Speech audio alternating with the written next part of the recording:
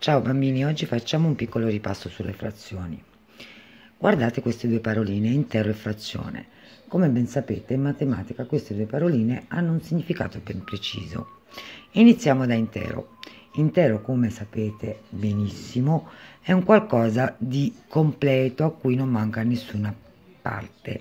Andiamo a vedere il nostro intero attraverso questa arancia. Ovviamente voi a casa se avete una torta, una mela, potete fare benissimo quello che io sto per fare. Andiamo a dividere il nostro intero in parti uguali, quindi andiamo a, andiamo a frazionarlo. Cosa significa frazionare? Frazionare significa dividere questo intero in parti uguali. Eccomi qua, ho diviso in quattro parti la nostra arancia. Vedete? Una due tre quattro. Se io adesso ne mangio una cosa succede? Cosa ho fatto? Me lo dite voi alla prossima